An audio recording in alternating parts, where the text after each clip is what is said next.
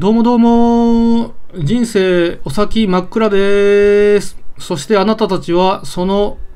目撃者です。そしてこれが100万円です。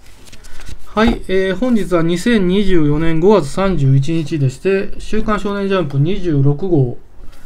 えー読み切り、受験構想、受験構想、えーっと、柴田、柴田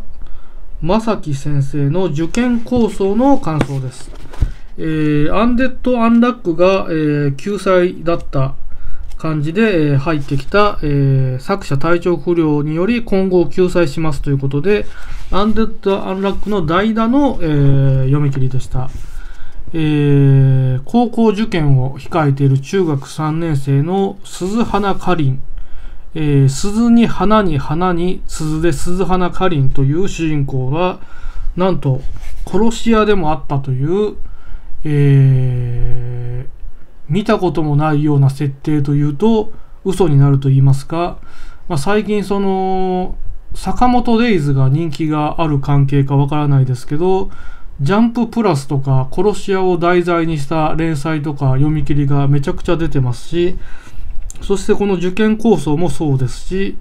まあ、これはまあ代理ということなのでまあどこかしらで、えー温められていた読み切りかもしれませんが、まあとにかく殺し屋を題材にした漫画めちゃくちゃあるという感じです。うん、なのでまあ、こ中学生女子が殺し屋やってるっていうのがまあもう真新しくないというか、よくある設定になってしまってるこの現在というものは一体どういうことかななんて思ったりもするんですけど、えー火付け役が坂本デイズなのか、それ以前に坂本デイズが始まるきっかけとなった殺し屋ブームがあるのか、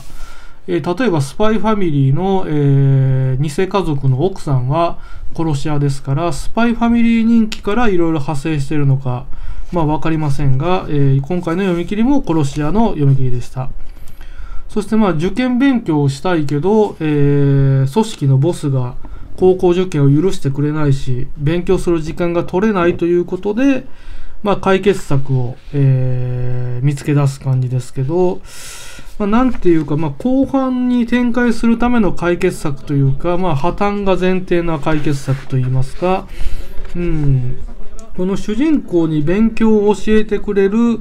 えー、メガネのやつが、えーまあ、悪役でもあるわけですけど、まあ、もうちょっとなんていうか魅力的な悪役というか、まあ、連載になった時にサブ主人公になるぐらいの魅力があってもいいんじゃないかなと思います。うん。今回の読み切りを読んだ感じでは、このメガネのやつは、まあ、裏切って当然というか、まあ、そもそも悪人面といいますか、うん。まあ、なんかその、まあ、そうしてしまうと、えー、大衆受けというか、主人公寄りのキャラにしちゃうと、まあ、よくある漫画になってしまうような気もするんですけど、なんかこの、うん、悪役をもうひとひねりあってもよかったんじゃないかなっていうのが最終的に思いました。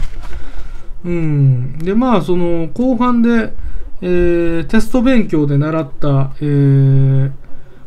二等辺三角形の、えー辺の比率、1対1対ルート2とかが、実際のその殺し屋の仕事で役立つみたいなシーンは面白かったと思います。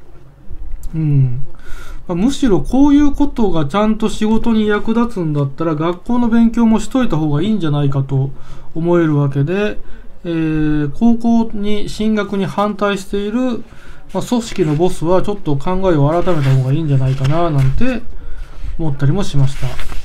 うん。まあ、そんな感じです。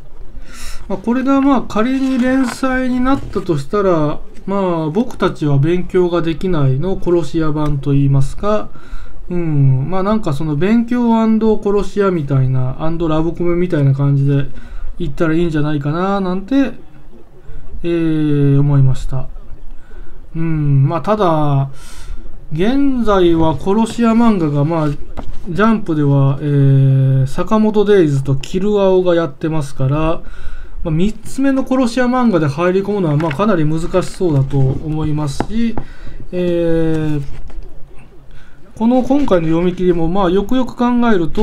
えー、中学生殺し屋っていうこのキーワード2つが、まあ、キルアウトかぶりまくってるっていうのもありますし、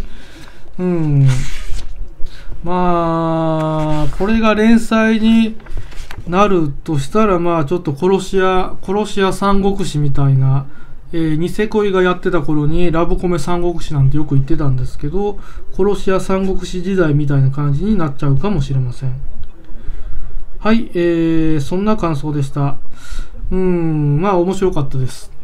ただこの現在のその殺し屋、殺し屋が題材になりがちというこの現象っていうのが私はジャンプを読んでますけどよくわからないので、えー、それがまあ坂本デイズによるものなのか、えー、それ以外に何か共通の影響元があるのかそういうことも今後考えていきたいなと思いました。はい、えー、それではまたお会いしましょう。さようなら、さようなら、さようなら。